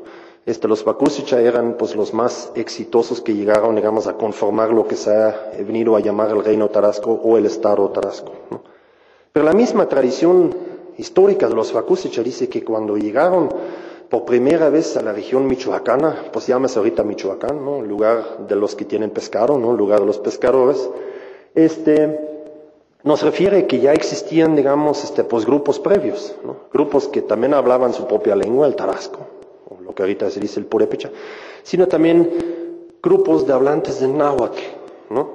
Entonces, ¿no? Vemos realmente, pues, esta imagen que nos dice, pues bueno, esta región, se convirtió en el reino tarasco, ya estaba habitado también por hablantes de otras lenguas. ¿no? Y no solamente, digamos, los navos, porque en, la, en, las regiones periferias también, digamos, había hablantes de otras lenguas. Aquí este mapa, no me voy a meter, digamos, en, en detalle, pero este mapa está basado este, en el trabajo de Donald Brandt, quien utilizó más que nada las relaciones geográficas del siglo XVI, que es una fuente un poquito tardía, obviamente para aplicarla tal cual a la época prehispánica. A final de cuentas ya pasaron varias décadas, ¿no? Pero bueno, nos da una idea, digamos, de la complejidad lingüística, ¿no? Que existía, digamos, este, pues, al momento del contacto de los españoles. Y si bien, digamos, la historiografía este, pues también moderna, ha sido dominado, digamos, por este, las hazañas, digamos, de este grupo Bakusicha, ¿no? Y su increíble, su supuestamente increíble esfuerzo, digamos, de convertir una región en relativamente poco tiempo en, este, pues un reino, un estado, digamos, bastante centralizado, este, tenemos, este, afortunadamente, también documentos que nos ayudan a matizar un poquito, digamos, este, este, la situación, que son precisamente, digamos, fuentes que nos hablan, por ejemplo, de los grupos de nahuas que estaban asentados en la región y lo que es más importante, creo yo, este, su relación precisamente con este, los señores Wakusicha. Entonces, recientemente no me voy a meter este, pues mucho, digamos, en detalle. Aquí, digamos, estamos realmente sacando de trabajos propios este, un texto este, de los este, de 1542, ¿no? 1543, el texto más antiguo en lengua purépecha, ¿no? Este resulta ser un documento que este, nos habla este, del contenido de un códice que tenía un señor, el Don Domingo, en la ciudad de Tzinsunza, ¿no? en los años 40, disculpa, del siglo XVI. El documento está en purépecha, pero nos habla de un códice en manos de un cacique de la parcialidad de los nahuas, ¿no? Este de Tzinsunzan. ¿Y qué nos ilustra este documento? Les voy a ahorrar, digamos, todo lo que es el análisis, etcétera, etcétera, este, para brincarme, digamos, al meollo del asunto. Este documento nos habla de la participación de grupos de nahuas en la consolidación del poder vacusicha en Tzinsunzan en el gobierno de Tzitzis Pandakore. ¿no? Y eso obviamente pues es muy interesante, ¿no?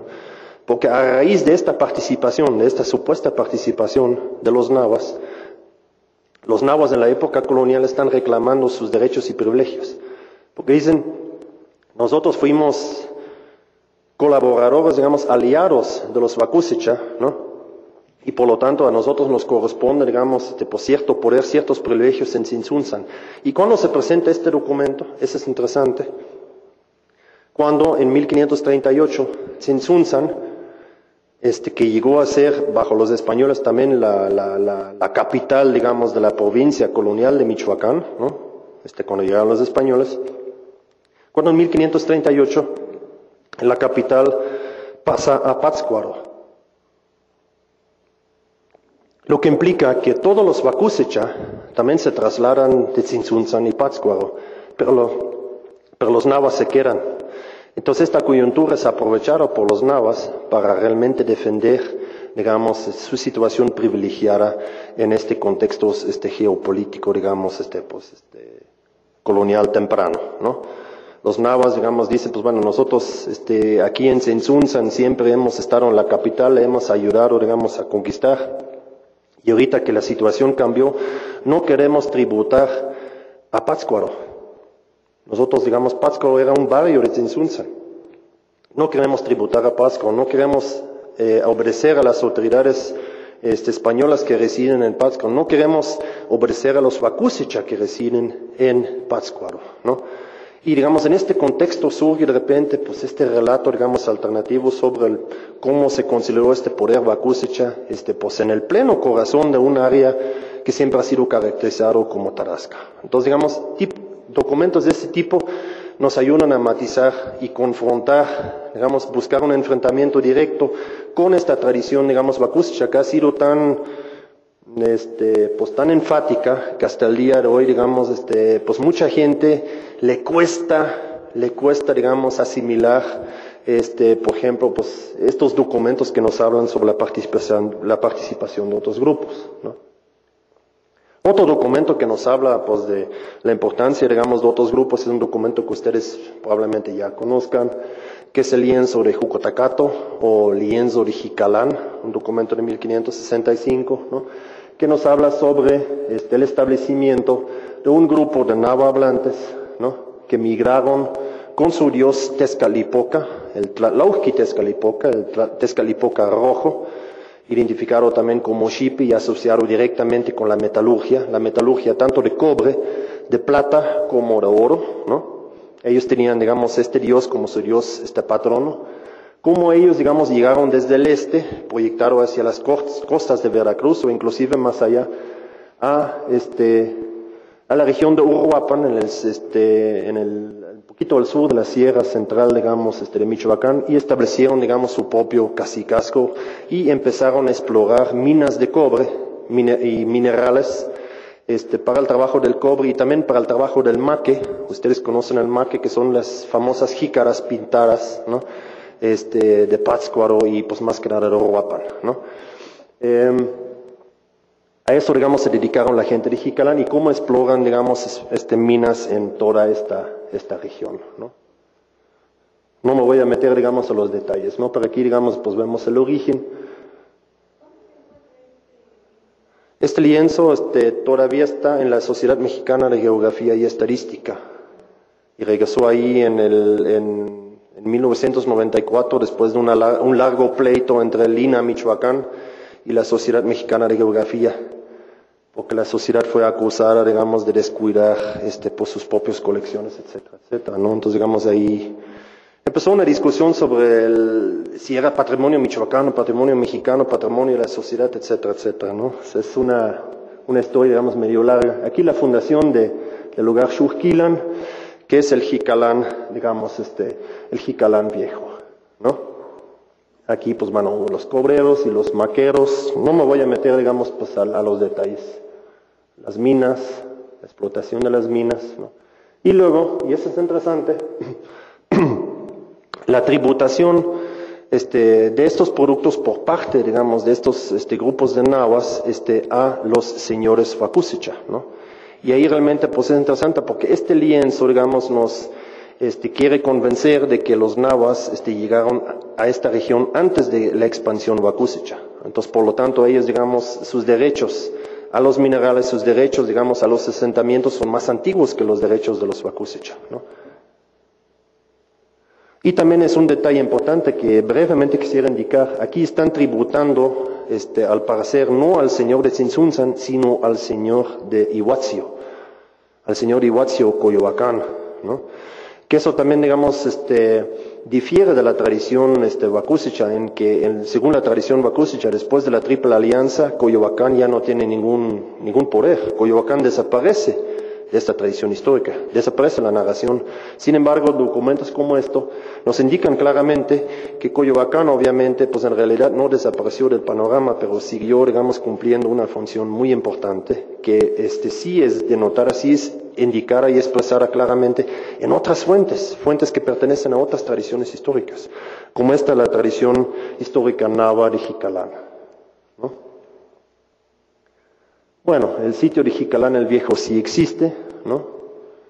Este está plenamente, digamos, identificado y aquí vemos, digamos, dónde se establecieron estos nahuas, en esta región, ¿no?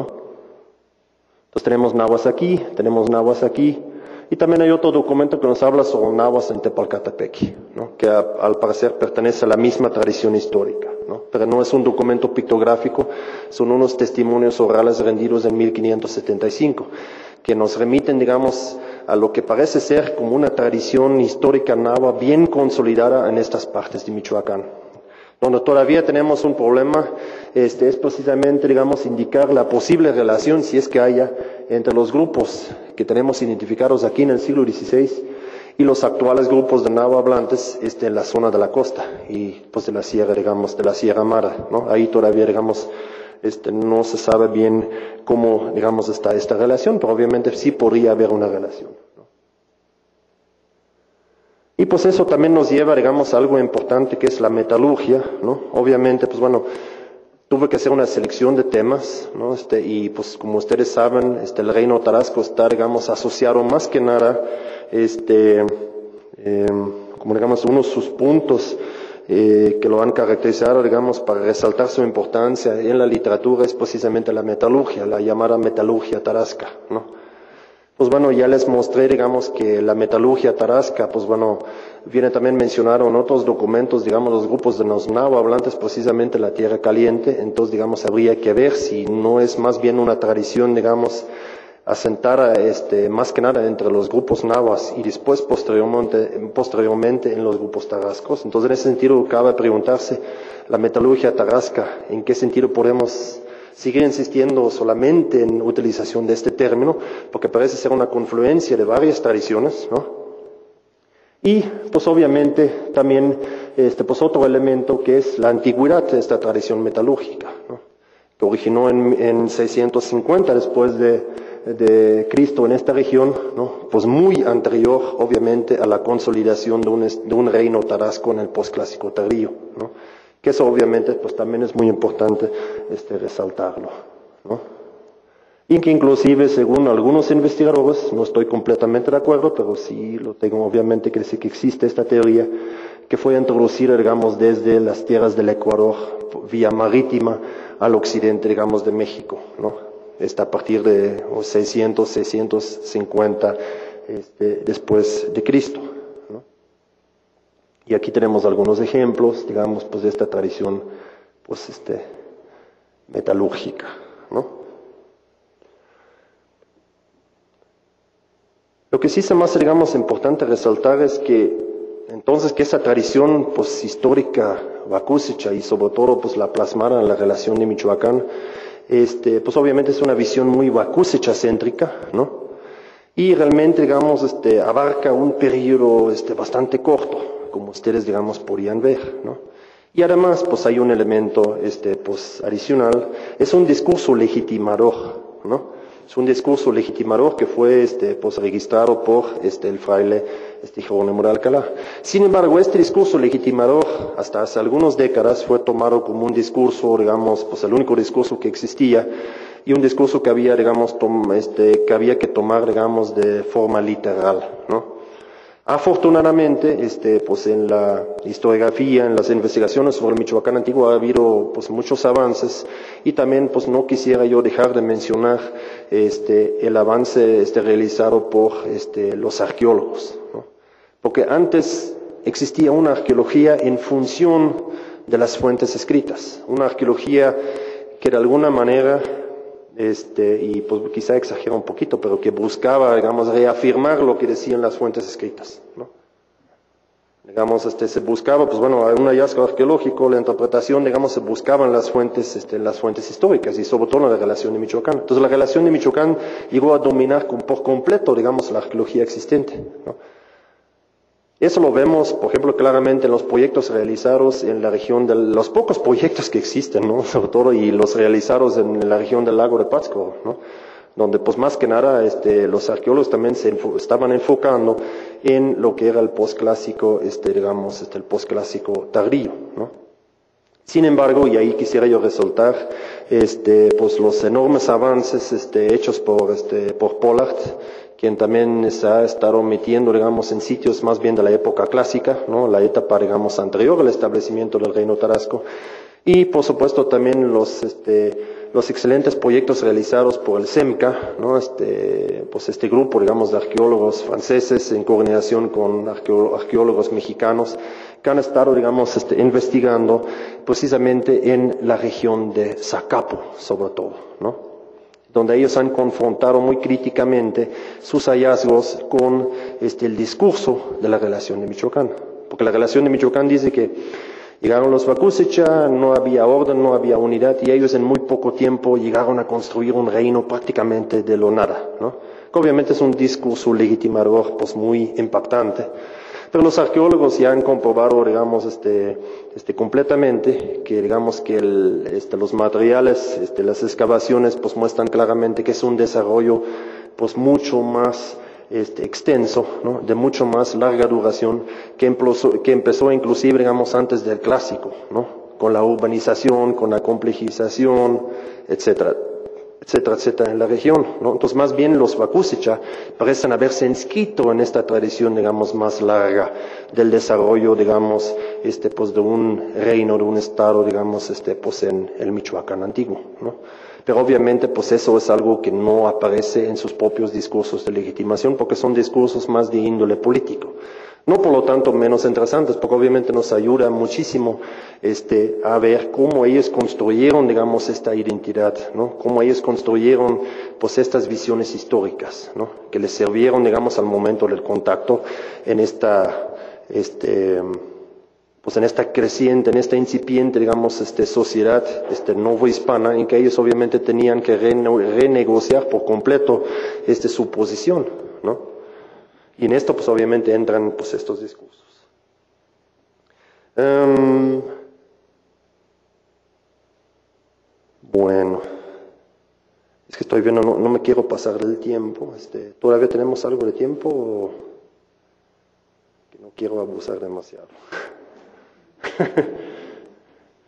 es que, sí, sí, sí, digamos, este, lo que todavía, digamos, lo último que me gustaría pues resaltar es que obviamente tenemos información sobre, pues bueno, la estructuración, digamos, del reino tarasco también a partir de la relación de Michoacán, pues que también, digamos, nos llevaría, pues bueno, este, a un, eh, pues a un análisis, pues bueno, que, este, que implicaría, pues mucho tiempo. Tenemos, digamos, una gran cantidad de dioses identificados en el caso, digamos, michoacano, ¿no? Yo les hablé de Curicaberi, les hablé de Sharatanga, pero digamos hay toda una lista de dioses sobre las cuales muchas veces no tenemos más información que sus nombres, una ligera descripción. Obviamente también tenemos pues, al dios Tlalauquitescalipoca de este grupo de Navas, ¿no? donde realmente no sabemos cuál era su equivalente, su correspondencia, digamos, este, entre los tarascos, ni siquiera en cuanto a la terminología. Entonces, digamos, no estamos bien seguros de la insertación, digamos, pues de estos diferentes dioses en un panorama más completa, ¿no? También tenemos información, pues bueno, muy ligera sobre el sistema calendario, que también me gustaría resaltar, porque muchas veces ha dicho que los antiguos michoacanos pues no tenían calendario, pues obviamente, pues sí, Si bien, digamos, no tenemos una cronología muy, muy determinada con fechamientos en sus propias narraciones históricas, realmente sí tenemos referencias a la existencia, digamos, del cuento de los días, a la ordenación, digamos, en ventenas, y pues muchos de estos, digamos, han sido ya identificados este, en las épocas de Paso y Troncoso, Seller y sobre todo este Alfonso Caso, ¿no?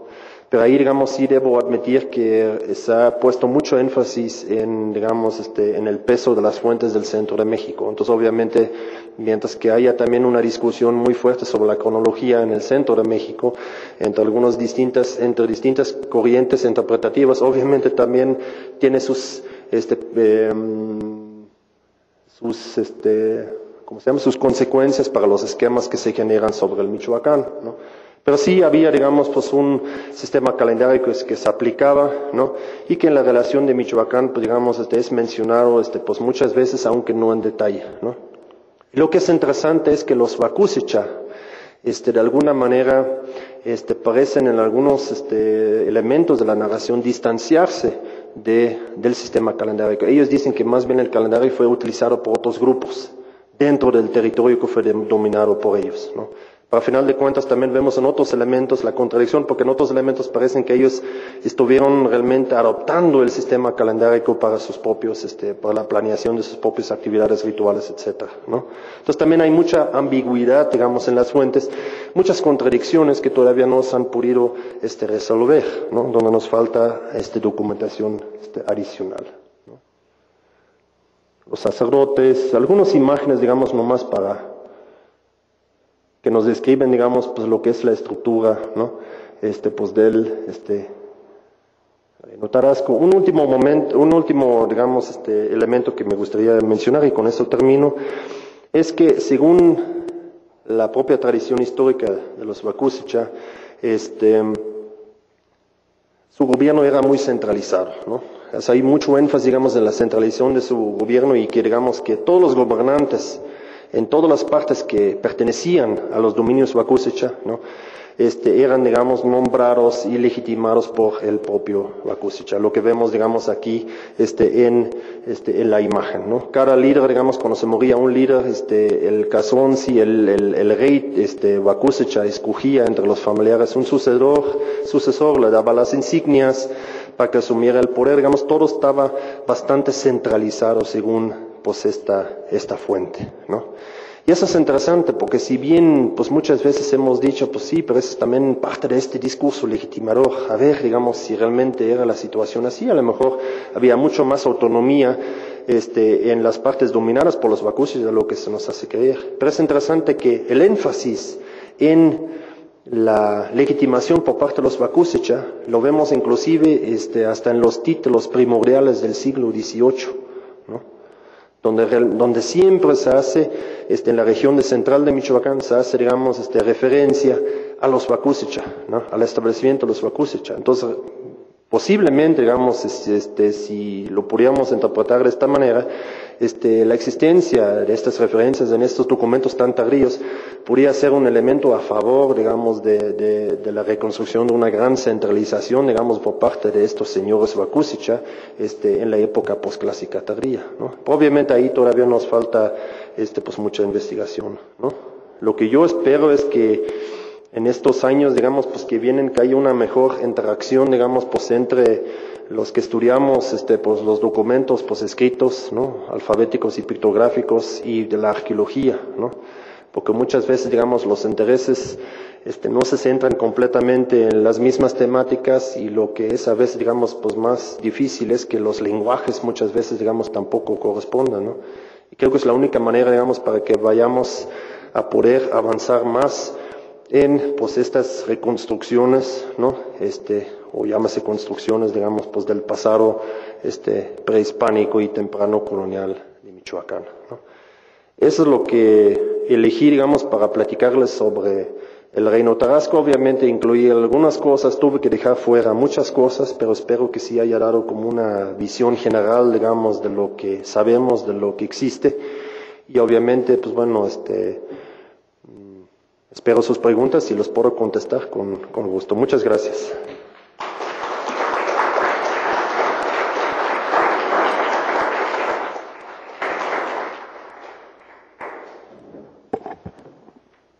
Tenemos micrófono acá abajo.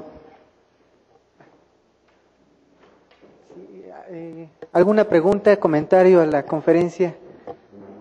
Sí.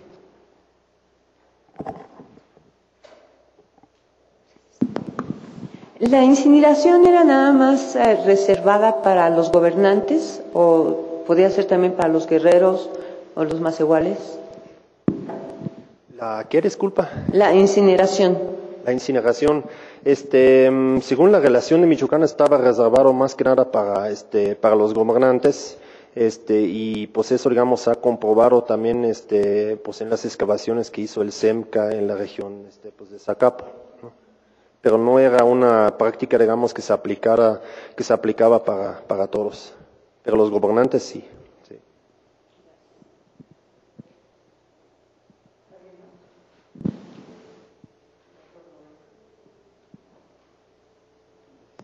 Pues muchas gracias Hans, porque sobre todo notamos este, pues, la, tus investigaciones más recientes sobre Michoacán y sobre todo en esta fuente la relación de la cual hace un par de semanas tuvimos también otra, otra este, conferencia en el taller del doctor López Austin en términos lingüísticos y obviamente que es una riqueza extraordinaria que todavía tiene que ser explotada aún más.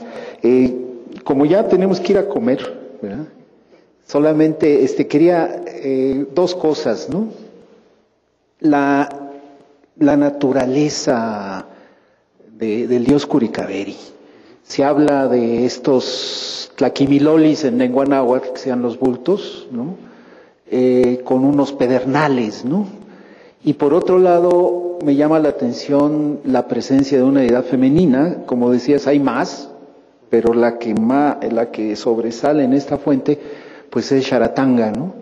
Que podría en cierta medida, estoy tratando de, tratar de comparar y contrastar con el panteón náhuatl, que podría quizás ser, si está asociada a lagos, a ríos, a manantiales, puede ser una especie como de chalchutlicue, que de alguna manera tuvo un importantísimo papel puesto que ella es la que rige uno de los soles cosmogónicos, de acuerdo con lo que vemos en la piedra del sol, ¿no? Esa presencia femenina, pero asociada particularmente a estos lugares acuáticos, pero que no son de lluvia. No vi por ahí a Tlaloc, por ejemplo, que es una deidad importantísima de la lluvia, pero en cambio se habla de esta deidad que en algunas ocasiones se ha intentado ver que es una especie como de Xutecuhtli, de Huehueteotl, de una deidad del fuego antiguo, ¿no? Y lo que dices de los pedernales es, es muy interesante, porque eso nos da la pauta para saber cuáles más o menos las características, porque además supuestamente es un dios chichimeca, pero no es Mixcoatl tampoco, ¿no? En cuyo contexto, digamos, aparecen, etcétera, etcétera. Sí tenemos una beta muy importante y que es precisamente, pues bueno, qué significa, ¿no? Entonces hemos visto ahí un importante avance este, que yo conozco, no sé, este, ojalá que haya más, pero este, un importante avance hecha por Cristina Monzón, precisamente sobre los dioses tarascos a través, digamos, de, de la etimología de sus nombres. Y realmente es, es, es, interesante cómo pues ella ha podido resolver, digamos, algunas discusiones que teníamos los historiadores, digamos, sobre pues, si era una cosa, si era otra cosa. Precisamente sobre, por ejemplo, Curicaveri, algunos investigadores pues enfatizan que es un dios del fuego, otros pues, como también me escribo ellos, digamos, dicen, bueno, es más un dios, digamos, del sol. Pues el término significa, pues, digamos, el que sale ardiendo, ¿no? El que sale ardiendo, que podría decir, digamos, ser precisamente la flama que parece salir, como también, digamos, el sol, que también, digamos, obviamente, pues, este sale en, el, su paso diario, ¿no? Entonces, muchas veces existe esta pregunta, pues bueno, es, es, esencialmente un dios del fuego, o tengamos también pues un dios del, pues, del fuego celestial que sería el sol, o realmente tendríamos que pensar, digamos, de manera diferente. También con la obsidiana, ¿no? La obsidiana que está, obviamente también se puede relacionar a Tezcalipoca, Tlalauqui, Tezcalipoca, este, también está asociado, digamos, a los yacimientos de obsidiana en, en Sináparo y Sinapecuaro, este, pues donde precisamente es la región donde residía la diosa madre, ¿no? También asociado a la, obsidiana. Entonces la obsidiana sí tiene esto, connotaciones, digamos, que nos llevan a distintos dioses, ¿no? Yo siento que ahí realmente urge una comparación, digamos, pues muy, muy crítica, este, pues con los datos, este, pues existentes en el centro. Lo bueno es que ya se ha hecho, digamos, una tesis de una, este, chilena, Patricia Beltrán, sobre este, pues todos los datos que podemos encontrar sobre los dioses, sobre los rituales, sobre el sistema calendárico, solamente a través de las fuentes michoacanas. Porque, digamos, se veían algunos problemas metodológicos en que obviamente, pues muchos estudiosos, digamos, hemos empezado más bien, digamos, con cuestiones mesoamericanas en general, entonces muchas veces llegamos al material michoacano ya con, digamos, teniendo una enorme cantidad de, de, de, información que a veces, pues, este, a propósito o subconscientemente estamos, digamos, utilizando para, para llenar ciertos huecos, ¿no? Pero yo siento que es, es, es, este, es imposible, digamos, descartar la comparación con el centro de México, ¿no? Donde, digamos, pues tenemos muchísima más información y yo estoy, digamos, de acuerdo contigo que eso nos va a ayudar, digamos, a resolver este, pues algunas de las preguntas que todavía tenemos pues, sobre estos dioses, ¿no? Que van más allá de Kurikabiri y Sharatanga, ¿no? Este, que también, digamos, nos remiten a, los, pues yo creo que son como 40 nombres de dioses que tenemos en la relación de Michoacán. Si no me equivoco, son 40 referencias, o sea, digamos, 40 deidades distintas, que es, que es, que es bastante, ¿no? De los cuales, pues una buena parte tiene su, su terminología, digamos, en purépecha, ¿no? Entonces, yo también, digamos, yo considero contigo que ahí la lingüística, digamos, nos va a ayudar muchísimo, ¿no? Y qué bueno que ahorita, digamos, ya ha habido recientemente más avances, más avances, disculpa, en cuanto al purépecha este, histórico, el tarasco, el desarrollo histórico del tarasco, porque antes había un notable énfasis en la lengua que se habla hoy en día. Obviamente, pues, ha habido muchísimos cambios, este, en comparación con el siglo XVI. Entonces el, el, solo hecho de ser hablante ya no es suficiente para meterse, digamos, a, tradu a, traducir términos del siglo XVI. Y lo bueno es que la lingüística ahí, pues, este, pues, digamos, está avanzando. Entre ellos Cristina y estoy seguro que hay otras personas que ahorita, digamos, están, están en esto, ¿no? Por ejemplo, la persona que tú mencionas en el seminario de, de López Austin, que no sé si fue Cristina Monzón o otra persona. Sí. Entonces realmente, digamos, yo siento que ahí también hay otra beta muy importante de, de, colaboración. Yo siento que eso es lo que nos ha hecho falta este, en el caso michoacano, una mejor interacción entre especialistas, una colaboración, un acercamiento más multi y interdisciplinario, ¿no? Yo creo que eso sí nos va, nos va a ayudar a, resolver mucho. Y obviamente, por la siempre sabrosa este, interacción pues, con los colegas que trabajan este, pues, otras regiones. Eso también es importante.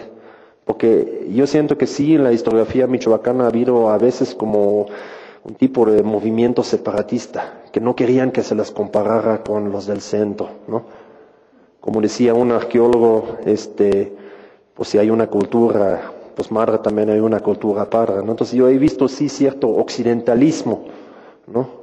académico, digamos, este, en la historiografía sobre, sobre el occidente, ¿no? Y yo siento que no es, no es bueno, sobre todo si ampliamente, digamos, este, se ha descrito, digamos, este, se ha indicado este sustrato cultural mesoamericano, ¿no? Que es obviamente que debería ser, digamos, una fuerte base para cualquier investigación en, en, en regiones como Michoacán también, ¿no? Sí.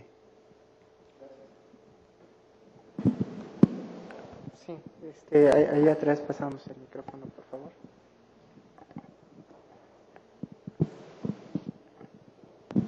Muy buenas tardes.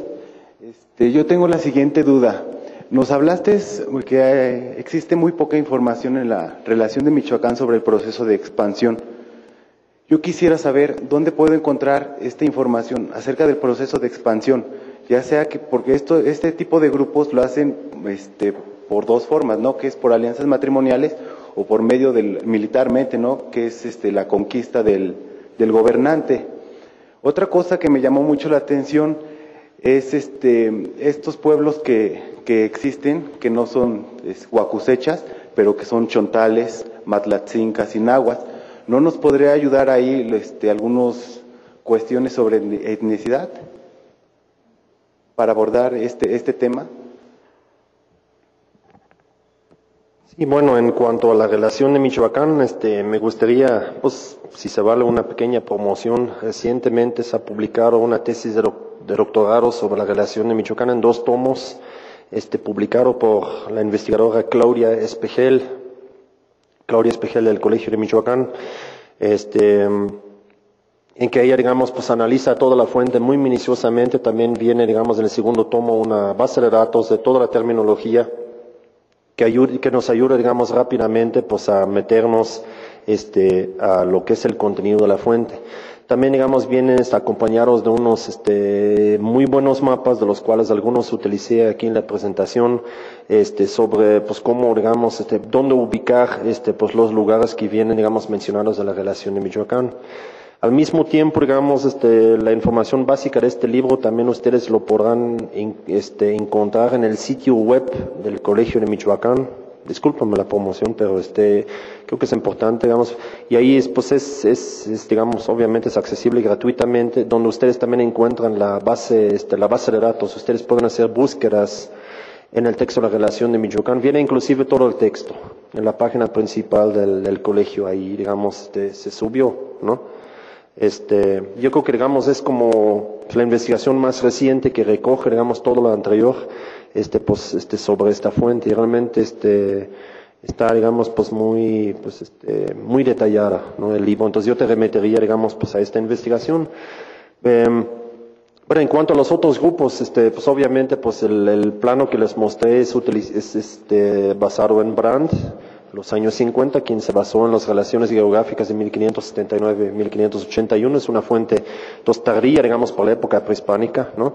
Y este, muchos de esos términos realmente no nos dicen mucho, porque digamos, a veces, pues en las relaciones dice, pues bueno, si en Cualcomán hablaban su propia lengua, ya se pone pues el Cuaucomeca, ¿no? O sea, pero bueno, pues ¿qué nos dice qué lengua es? O los tecos de Jacona, pues sí, se llamaban tecos, pero ¿qué nos dice sobre la lengua? ¿Qué nos dicen sobre la pertenencia, digamos, de esta, de esta gente? Porque obviamente también tenemos el problema de que, digamos, este, grupos este, lingüísticos no necesariamente equivalen a grupos étnicos, que también es una discusión, pues obviamente, digamos, muy amplia. Obviamente, la lengua es un determinante muy importante para identidades étnicas, pero no es el único elemento. Entonces, digamos, ahí también nos falta muchísima información como para, digamos, definirlo. Lo que nos falta sobre todo son textos. Textos, digamos, este, escritos por los hablantes de esas lenguas, ¿no? los miembros pertenecientes a esos grupos en sus propias lenguas. Hasta ahorita tenemos unos 50 textos en lengua tarasca, ¿no? Este, pues un lienzo en lengua náhuatl, por lo demás no, no hay más textos. Y de las otras lenguas, en cuanto a la situación michoacana, no tenemos ningún documento. obviamente esto sí hace muy difícil, para no decir imposible, ¿no? Siempre hay que tener algo de esperanza. Este, casi imposible, digamos, de decir algo más allá de lo que, digamos, se presentó, ¿no? Para eso sí realmente necesitamos, este, pues, más documentos, ¿no? Sí, la, arqueología obviamente nos puede apoyar, pero ahí sí, este, pues bueno, eh, a ver si no digo cosas que no debería, pero digamos, obviamente ahí en, la cuestión, y a eso iba con lo de los discursos, digamos, a veces manejamos discursos distintos que también tienen que ver con la naturaleza de nuestros materiales, ¿no? Tenemos distintas capacidades los historiadores y los arqueólogos, digamos, de generar discursos sobre el pasado, que a veces, digamos, obviamente se empalman, hay cierta compatibilidad, pero también, digamos, hay elementos que no son compatibles, ¿no? Por ejemplo, ¿cómo puedo yo como arqueólogo identificar todos estos discursos, todas estas pertenencias, digamos, este, en base a estos discursos de legitimación, por ejemplo? En el acervo arqueológico no lo voy a poder identificar, ¿no? Y ahí viene otra pregunta, bueno, no, quisiera terminar con esto, pero digamos, ¿cómo puedo yo definir, por ejemplo, para empezar, arqueológicamente, una cultura tarasca? Eso ya de por sí es muy problemático. ¿Cómo definir arqueológicamente la cultura tarasca? Tenemos secuencias cerámicas. A veces secuencias cerámicas determinadas por, por los sitios donde, digamos, la gente ha excavado en los últimos 100 años pero ni siquiera existe una correspondencia en este- entre estas secuencias, digamos, cerámicas. Entonces, en cuanto a definir arqueológicamente la cultura tarasca, pues yo me pregunto si alguien, digamos, se atreve a hacerlo. Yo sé que obviamente tiene que ver con, o sea, por eso, digamos, digo que generamos discursos distintos a partir de nuestros materiales y a veces ni siquiera permite la interacción, ¿no? Lo hemos intentado hacer en Jicalán, Dije, pues bueno, si ya tenemos el sitio, yo desde el lienzo quiero con un arqueólogo ir al sitio y vamos a hacer algo juntos. Lo que pasó es que generamos dos discursos. Yo el discurso a partir del lienzo, él el discurso a partir del sitio, de la lectura del sitio. Y no logramos, no logramos, digamos, integrar, ¿no? Creo que ese es un reto, enorme, ¿no? Y eso existe ahorita entre pues, arqueólogos y historiadores, pero obviamente si juntamos otras disciplinas, todavía, digamos, pues se nos complica más, ¿no? Yo no creo que es imposible, pero yo sí estoy completamente, digamos, consciente de que eso es algo, una gran obstrucción, ¿no? Pero debemos encontrar las maneras de, vencerlo, ¿no? Ver si es posible. O sea, discutir sobre estas metodologías los discursos mismos y ver, pues sí podemos llegar a esto, o realmente es como una utopía, ¿no?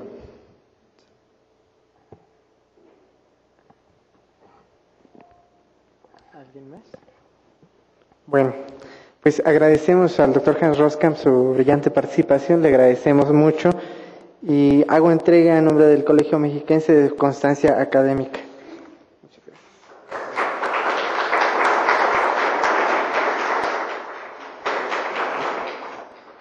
Eh, perdón, este, bueno, Perdone, una última pregunta.